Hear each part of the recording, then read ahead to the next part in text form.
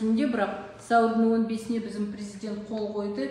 Екі айдан соң маусымның он алтысына уже заң жүйесіне кіреді то есть вступает в законную силу.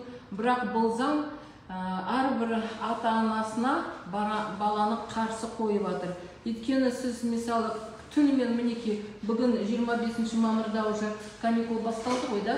Әрбір балапандар қазір 16 13 балалар қыздар далада түнімен жүрсе түнде сағат екіде бірде үште үйге келсе арасында біреуі мас болса біреуі нашақор шегіп жүрсе сіз кірген балаға айтасыз ғой сіз қайда жүрсіз? Бұл не деген масқара десеңіз бұл сіздің айтқан сөзіңіз уже болады психологическое давление. То есть психологиялық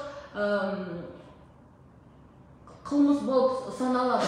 Сондықтан біз өз баламызға құқығымыз жоқ ол балаға тәрбие беруге құқығымыз жоқ. Бізде тек қана жауабымыз бар. Біз баланы осы өмірге әкелдік. Баланың тамағын киімін оқытуын бәрін өз міндетіме аламыз. Бірақ оны дұрыс жолға салуға тәрбиелеуге осы заң туралы бізде құқығымыз жоқ. Не үшін? Өйткені мынау запад шет елден кірген осы заң бүкіл қазақ халқын қазақ ұрпағын жойып құртайын деп жатыр вот